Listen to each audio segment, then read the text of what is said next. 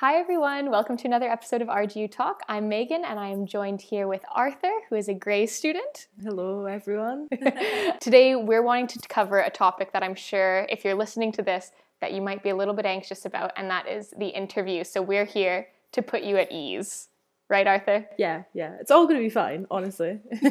so um, the reason we have Arthur here is because they did a um, interview to get into the Gray School of Art. Um, do you want to talk maybe a little bit about, about your course and just just introduce yourself a bit further? so, I am studying first year contemporary art over at Gray's. It's a really great course. We basically get to do whatever we want within the whole school, any department, free reign, any tutor, subject. We just we just get to have a lot of fun with it. Yeah, it's a good course. It is. I would highly recommend it if you're an artsy person. So you just finished your first semester of your first year. How'd that go?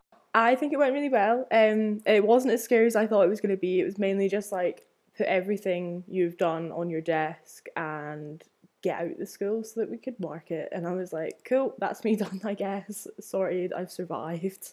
Perfect. First semester done and dusted. Your interview might seem like a little bit of a distant memory. Um, can you tell us a little bit what you remember about that process? I remember um, absolutely having no clue what's going to happen. I was so scared that morning. And like Gray's is like a two and a half hour drive from where I originally come from. So the whole way in the car I was like, oh, I'm going to be sick, mom, pull over. and I get into it and we're like, sat at the tables inside the little cafe in Gray's and um I just started like chatting to people next to me and I'm like, Oh, what course did you apply to? And just like getting to know them and getting like a feel of the environment around me and then actually getting into the interview and it was just like lay everything out that you've got and we'll come round and we'll just have a big chat about it and it was a lot less formal than I thought it would be. I'd went to like other interviews for other schools and they've been very formal and bit scary, bit intimidating. Um, but coming to Gray's, it was so relaxed. I felt like I was at home already. So more of an informal chat, less yeah, of a test yeah. like people might assume it is. Yeah, people always think that they're going to try and trip you up about stuff, but it was more about them actually wanting to get to know your work and who you are as a person. I was going to say, I think that at Gray's, that actually is kind of the more important thing. Yeah. It's like we want to see. we want to see what you can do like yeah, I think it's like it's one of the the nicest places I've ever been. It's so friendly. Everyone wants you to do your best. There's like even even your tutors they'll always be like, "Yeah, like I absolutely love what you're doing." Like everyone's so supportive. That's really cool. Yeah. Do you remember so your the preparation you had to do to get ready for the interview? What what did you have to do? So I was doing advanced art already. So um advanced art was mainly just like a, por- uh, a portfolio year. I sort of just like I, it was about half my portfolio because it was about halfway through the year. So I'd gotten that all sorted, put it in my big portfolio case. Um, yeah, and it was just like all the work that I had done so far, just like a big range of everything. Um, and my art teacher was very much like, yeah, just like take everything, even if you don't think it's good, take it anyway, because it still shows that you're willing to try something. Art's also so subjective. Yeah, yeah. You so, might not yeah. think it's good for all for all you know. Whoever is looking at your work might think it's absolutely brilliant. you don't know. So it was mainly just like getting everything sorted, like everything that I'd done, putting in a big portfolio case, and just bringing it up. So then, when it came time to showcase your portfolio, what did what did you have to do? So they got us to um, take everything out of their cases and just like lie it in an order that sort of made sense to us on the table. So I had everything piled up. I had done like a massive canvas, like the size of like a like a good wall. size of a good wall. Yeah. So I um I had that like all laid out on the table. I had um a photography portfolio as well, just because I was doing contemporary art. So it's just like a bit of everything. Um, so yeah, I just I just had everything laid out for them to come over and have a wee sift through, and they'll look through it, and then they'll like pick out certain things, and they'll be like, oh, what's this? What's what's what's up with this? And I'll be like, oh, that's my thing that I made. So yeah, they very much they'll like pick things out so that you're not like forced on the spot to talk about things. They'll sort of start a conversation with you. No, that sounds pretty good. And then is for the actual kind of like interview process, is it so sorry, did you say was it in a group or was it one on ones with one so of the it's one on one. So the um the way that they do it, there is three interviewers and then like three candidates in a room at a time. So we all had separate desks, and we'd all have about like six or seven minutes with each interviewer. So they'd go round the three of us. So it would be one on one, but then you could sort of like still hear conversations going on behind. You. So not in a super scary silent room. No, no, it wasn't just like the two of you standing there in like in a total empty room with just your work. Like it was, there was other things going on. Like it was a bit of an environment, and it, I think that's more relaxing as well instead of just me standing with another person and being like, ooh, I don't really know what to say. Like I can hear other people talking, and it's just it's a bit calmer. Yeah, no, I think it's important for the prospective students to realize that the people interviewing really want you to succeed. They're not they're not oh, wanting you to fail. Yeah, they really want to see what you're good at, and they really want to hype you up for everything that you're good at as well. Yeah. Do you remember how, how did you feel kind of when those one-to-one interviews are coming? Because I, I reckon that's kind of one of the most nerve-wracking parts it's something that I think young people never have to deal with up until now.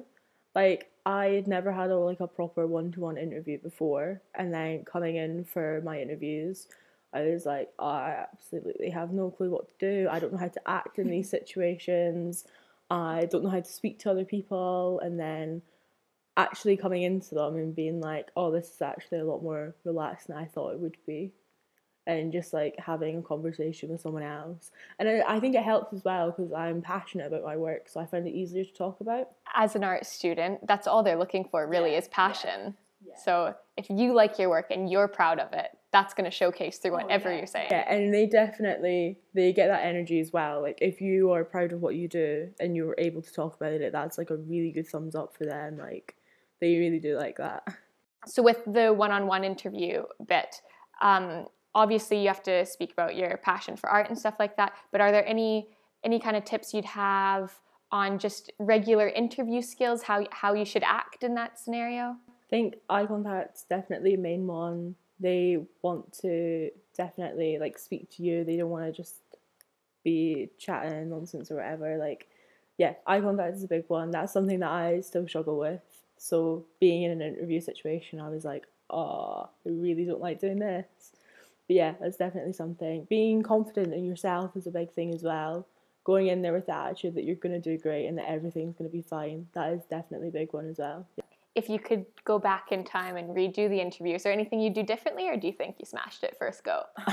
um, I honestly think I'd wear something more comfortable. I was like so dressed up for it and I was like, yeah, like this is like not stuff that I would ever wear. Like I was like proper like business attire and then going in there I was like this is an art school like I should really just be myself.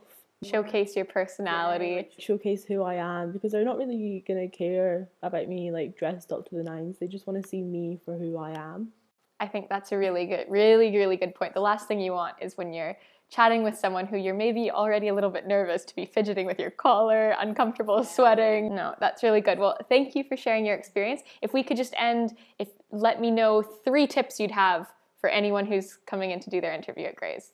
Get posters or handouts or leaflets from different exhibitions and stalls and that that you've been to. They're very big on your own personal development. So getting like a folder, things like that, doing little write ups for galleries that you've gone to, that definitely really helps. That's really cool. I don't actually think people would think to do no, that. No, I didn't even think about doing that either. It's something that's not really spoken about until you actually come to Gray's, but they are really big on you visiting exhibitions, galleries, spaces where people are making art and doing artistic things. No, that's good. Everyone listening. Yeah. Showcase yeah. that not you're just not into your own art, but you're into other people's as well. That's cool. Definitely. Yeah. Any other tips? Be your best self just put yourself out there and don't be shy, don't hold back because they are wanting to learn about everything that you're doing. So yeah. Be you, be true to yourself, yeah. be passionate. Yeah. No, that's perfect. I think I think you've said it all. Well, to everyone listening, best of luck with your interviews. Do not be nervous. Take a page from Arthur's book. Just yeah. go in and you'll smash it. If you have any questions, you can let us know via direct message on Instagram or send us a message on Facebook. Um, we will get back to you and yeah, best of luck. Bye. Thanks, Arthur.